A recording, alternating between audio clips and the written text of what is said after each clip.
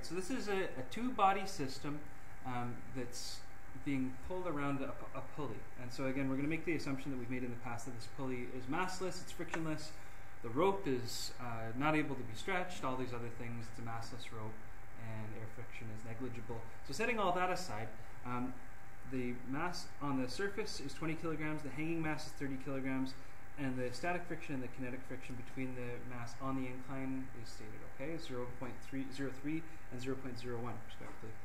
Um, and we're sitting at 30 degrees. Uh, for the purposes of significant figures, because somebody's going to burn me on this later, I'll say it's 30.0 degrees, okay? Just so we have three sig figs. I know who you are. Um, I'd like to figure out the acceleration of this system. So that's, that's what the name of this game is going to be. Find the acceleration of the system. So I've got to go through and I've got to repeat some things that we've done before, but we've got some extra stuff to do as well, okay? So I'm going to ask you to pull out your calculators and I want you to engage in this. There are some things that you need to find, okay? I'm going to label up some values and I want you to find them. So certainly there is an FG. I'm going to be calling upon people to give me some of the values in a few minutes. And if you want to work along at my pace and talking it through, then you can just write it as I go, and you can give me some of the values as we go, okay? So we've got FG, and going along with FG, there should be the component that's perpendicular to the surface. So we're going to call that FG perpendicular, which of course completes a right angle triangle. I'll actually draw out the right angle triangle, although I usually don't for my own uh, illustrations. And we have an FG parallel, which is the same length as this side of the triangle and parallel to the surface, just like that side of the triangle. So we've got an FG parallel. We've also got a force due to, and you know what, I'm just going to call it F subscript little f right now because I haven't decided yet if this is going to be static friction or kinetic friction. And I'm going to have a normal force. Now we've only addressed one object. We got to deal with the other object now. This guy is going to have a force of 1 acting on 2, and this guy is going to have a force of gravity. So if there's a force of 1 on 2, what else has, has to be there that maybe I didn't think of yet? Sen? Force 2 on 1. So not only is there friction resisting this puppy, there's also force of 2 on 1 resisting that guy going down the slide.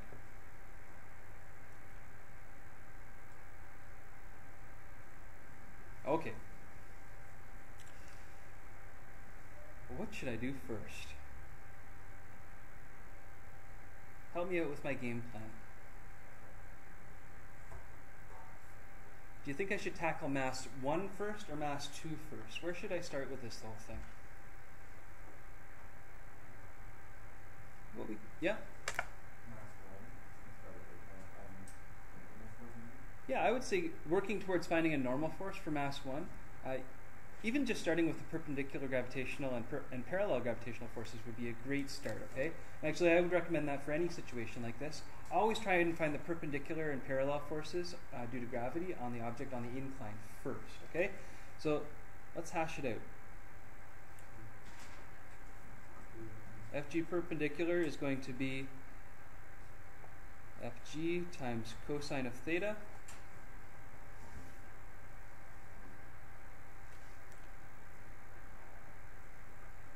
And I didn't actually find FG yet. That's okay, we can do mass times acceleration due to gravity times cosine theta.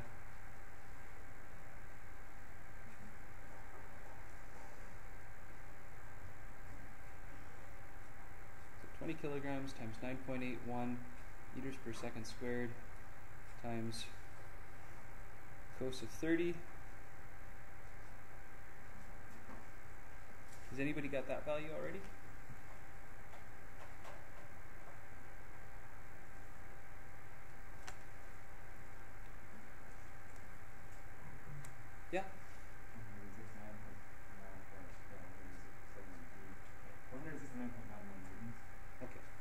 169.91 newtons. Beautiful. Yeah, we want to keep it unrouted for a little bit. Um, and FG parallel is going to be the same sort of deal. We're going to say that it's FG times sine of theta, or mass times acceleration due to gravity times sine theta.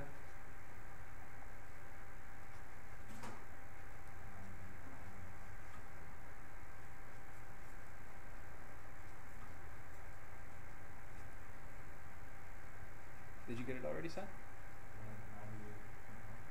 Is it just 98.1 because sine 30 is a magic angle?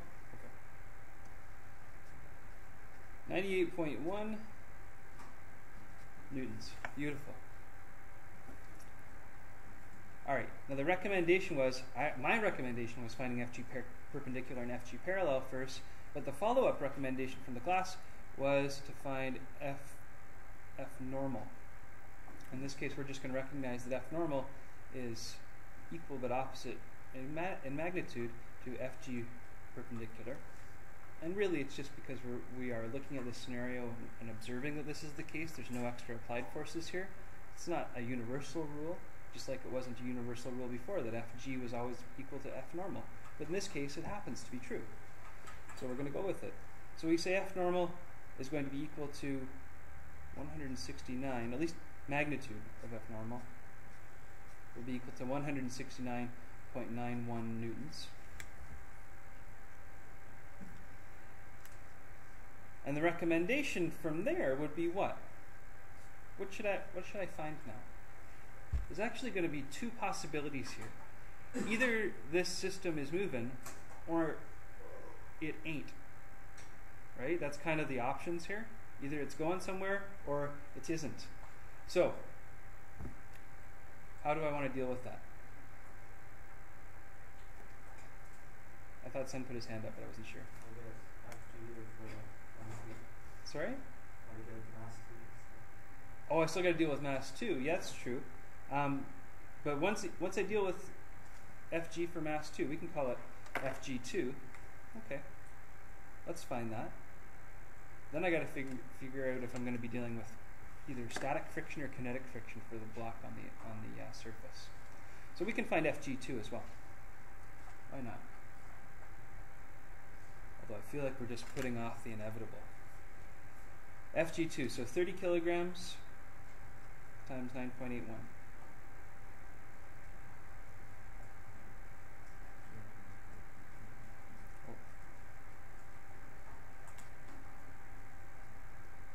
What was it? 294.3 newtons. Okay, that sounds good.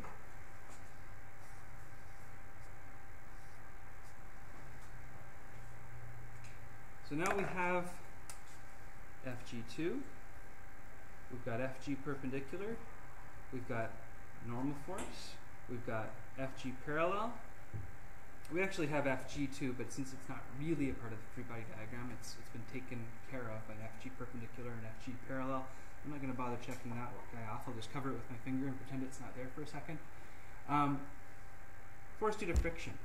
Like I said, we got to deal with whether it's kinetic friction or static friction. And you know, maybe I was a little bit hasty in making a force to friction point in that direction. Does it have to point in that direction? No. This this mass actually might drag the system towards the right. It might not be that the thing on the incline wins this tug of war, right? So let's see for a second. If force due to gravity uh, due to mass 2 is 294.3 newtons, and the force due to gravity parallel due to mass 1 is 98.1 newtons, who's going to win this tug of war? Mass 2. Oh, baby. So, I am going to call to the right positive, because I can see just by looking at these two forces that mass 2 is winning the tug of war. It's got to. If this thing's going to move. Now, it doesn't mean that it's going to move, because friction might still win. Friction might still make it not go anywhere, so that's what we have to figure out. So I want to find the friction force on this, this uh, first object. I'm going to find it two ways. I'm going to find static friction first. So that'll be mu s times F normal. And mu s is 0.03 and F normal is 169.91. So if somebody could just plug those guys into their calculator and let me know what you get. I'm running out of space, so I'm not going to write out all the numbers. 0.03 times 169.91 newtons.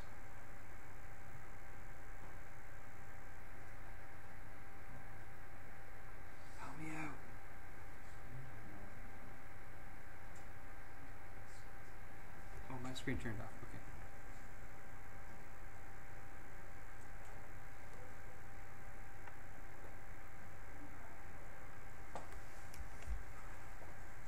Shree. Five point. What was it? Zero nine seven three newtons. Now, we don't have to do all the math here. What we could do is check to see the difference between these guys. Is the difference between these guys greater than the static friction force? Is this thing going to move? Yeah. This thing is, is definitely overcoming static friction. So I don't need to deal with static friction. That was my check. Is it going to move? Absolutely. And I actually know now that it's going to tend towards the right. So I could call this to the right, I could call this the left. And now I should really calculate the kinetic friction. 0.0100 times 169.91 newtons. Now this one's a, an easy one to calculate. What's what's a one hundredth of 169.91?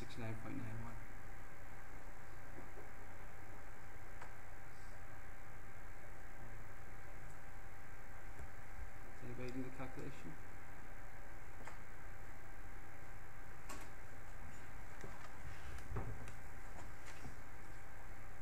Yes? Oh, thank you. All right. 1.6991 newtons uh, is the kinetic friction force, which is like barely anything compared to this system, right? Like this, this is like a bulldozer of a system, and there's this wee little friction force that's resisting it. But you know, maybe somebody greased up the slide or something. I don't know. Um, this, I mean, if we want to paint a story for this, maybe somebody tied a brick around a pulley and wrapped the, the rope, the other end of the rope around some kid's waist on a slide and just check to see what would happen if they dropped the brick. I don't know what this thing's all about, but hey, whatever is happening here, this thing is definitely sliding and it's going to tend towards the right. Okay, so let's uh, let's lay it out for ourselves. We want a free body diagram for this system. That's what I want, anyways. So I want to draw it out linearly. I've got mass one, and I've got mass two. Mass 2 is going to tend to get pulled to the right by gravity. Okay, I'm just I'm just turning this into sort of a linear system, so I don't have to think about things going around corners. So Fg2 is equal to um, 294.3 newtons. This object has force to gravity parallel, we called it, Fg parallel. You could call it Fg parallel for mass 1, and you can make this subscript go on and on and on forever. Um, but it is 98.1 newtons. And we have to decide what direction was positive and what direction was negative. So we said that to the right was positive and to the left was negative. So this is a positive value and this is a negative value. Now there was a rope combi- uh, connecting these two. We just figured out the kinetic friction force, which of course is going to resist this system's tendency to move towards the right. The friction force on the first object will be towards the left. So Fk is equal to 1.6991 newtons. You could call it Fk1, but since there's no friction on mass 2, I guess it doesn't really matter. But Fk1, 169.91 newton, or sorry, 1.6991 newtons. Is what's that? Oh, you're right. It should be negative. Yeah. Are there any other forces that should be acting on this system? I know that we labeled up force of 1 on 2 and force of 2 on 1 in the initial diagram, but is that going to change the, the net force for the system? I don't think so. Those are internal forces, right? Now, if somebody asks us what the tension on the rope is, that's a different problem. But we've done enough of those problems. Uh, I don't want to bring it back up now. We're, we're solving a different problem right now. The problem we were trying to find was the acceleration of this system. So there's no other external forces that are going to be in, impacting this system. So now I think we should find the F net for the system. F net for the system is equal to Fk1 plus Fg parallel, and you know what the heck, I'm going to call it Fg parallel for mass 1, even though there is no Fg parallel for mass 2, plus Fg2. And if we plug in all of our values, we'll get the net force for the system. So I'll, I'll ask you guys to, to get ahead on that one.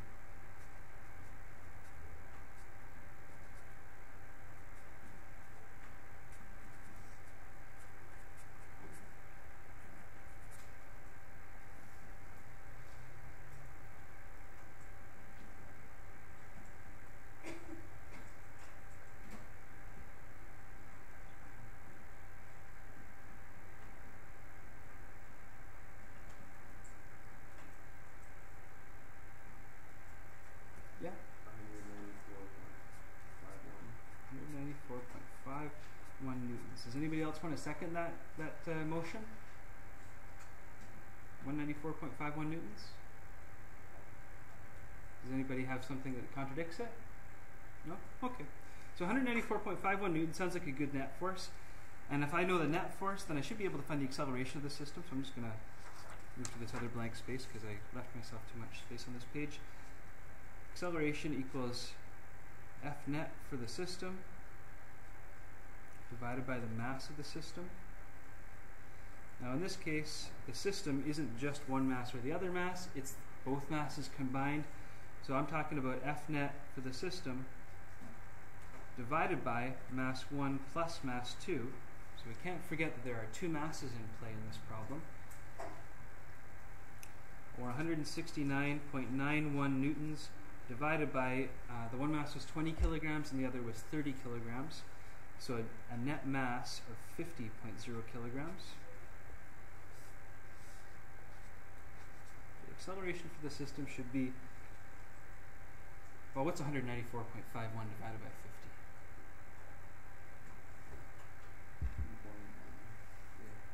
What is it?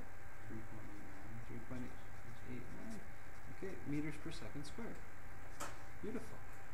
So we can get the acceleration for the system, and of course that's in the positive direction because we already determined that we were defining the positive direction as the direction in which it's going to travel, which, one won the tug of war.